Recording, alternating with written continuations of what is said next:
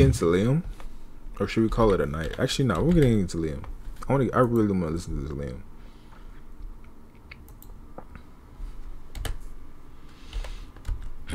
If your skin is not thick enough, please exit. All right, we're gonna get very. You feel me? I'm. I'm not gonna voice my opinion. Opinion. Like if it gets a little too bad for me, because even I'm not that thick skinned. I might say a little something. Leave. All right. Because this might get a little. This might get a little crazy. Because I want to know what happened. Liam Payne calls out Zayn Malik and Gigi Hadid.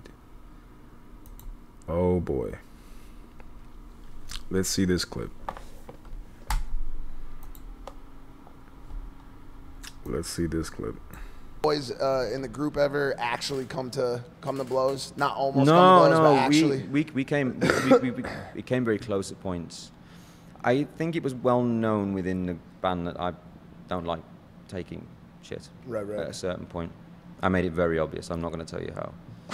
um, and there was one moment where there was an argument backstage, and someone, one ma- member in particular, threw me up a wall. So I said to him, "If you don't remove those hands, there's a high likelihood you'll never use them again." That is such a British thing to say. It's just an awesome thing to say. Wait, what was what did he say after that?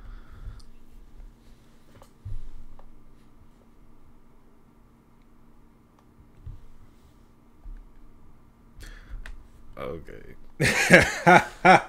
British thing to say. All right. It's just an awesome Okay. thing to say. Wait, what, All was, what did he say after that? All right. Oh, he just took his hands off. Oh, amazing. He went from Liam Payne to Liam Neeson in, Yeah. like, two, in like two seconds. Right. He's like, I have a very unique I don't know why you have your hands on me. I have a very That's unique funny. set of skills.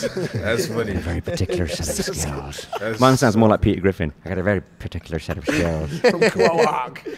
Dude, do you know? Uh, No, I, I I've had uh, um, an experience with one of your I know. one of your bandmates. Oh, you do. Yeah, and he was fired up. Do you know about Who's- this? Which bandmate are we talking about? I, reckon, I already think I know, but just throw it, throw it in the mixer. Our boy Zayn, Ugh. ex bandmate, I Wayne, should say. Wayne Malik.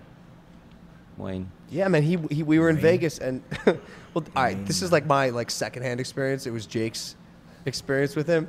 Uh, You're just living off everyone else's. Yeah, experiences now. vicariously. yeah, hell yeah. I'm gonna start telling these stories in a minute and pretending they're my own. I was I was loosely involved, very Okay. loosely involved. Something happened where like Jake Jake said hi to, to said hi to Zayn, and he felt like your girl just spilled Coca Yeah, Cola. point, point the camera on her. Put her on. I, I, I, put we her gotta on. see these. something like this. uh, uh, Oopsie daisy. he uh, It's not good for you, anyways. Fuck that. he said hi to Zayn, and like Zayn, he Jake felt like Zayn was disrespectful to him, and he wanted to like say what's up. And so Jake tweeted at him, and then he was screaming in his hotel room because the rooms were right next to each other. He was he was he was, and there was a video of it online, screaming in his hotel room. He was like, I thought my brother was about to fight Zayn, and then Gigi tweeted. Uh, At Jake calling him like Yeah. ugly and irrelevant, I and that remember went that. crazy viral. And you know, Jake And is then she, ugly, tweet, she tweeted something but, about. but he's not irrelevant. then she tweeted. She tweeted something about get yourself like a respectful man or something. yeah, yeah. That and- one didn't age very well. It didn't age. Oh!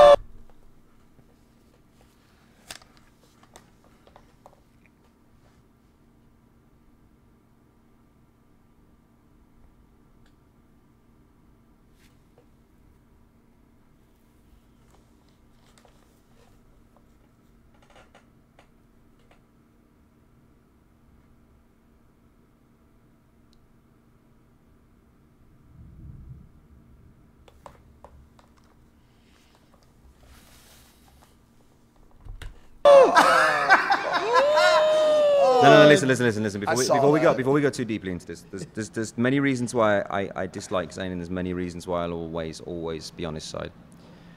If I had had to go through what he went through, through his, gro- his growth and, and whatever else, you know, your, your parents are very supportive. Very, very. Uh, my parents are overly supportive to the point where it's annoying at times, and they, they don't even mind me saying that. And Zayn, Zayn had a different upbringing in that sense, and um, you can't. You can always look at the man for where he is and, and, and say, oh yeah, whatever, that guy's a dick, right? But at the end of the day, once you understand what his he's mother been was through to get to that supportive. point, and also whether, or not he actually even wanted to be there, and also.